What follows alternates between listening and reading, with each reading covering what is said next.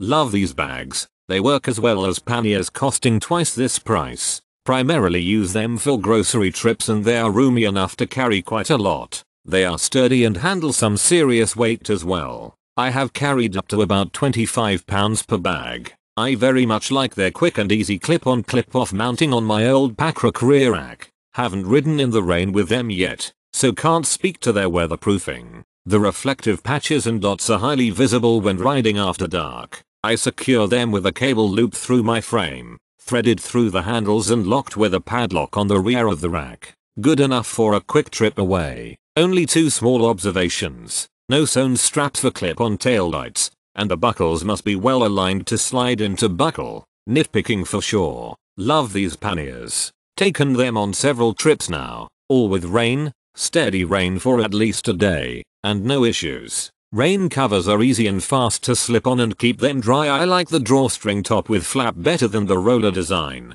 simply because it's more convenient. Extremely easy to stick everything you won't need access in. Close the string, then put something like a jacket or rain poncho on top and close the flap over it. Excellent quality and solid attachments to the rack. These bags also hold a ton of stuff. Too much. I usually fill them, then remove a bunch so I don't pack too heavy. I wish Ibera made a smaller front version. Until then I'll have to keep using the small Ortliebs for up front.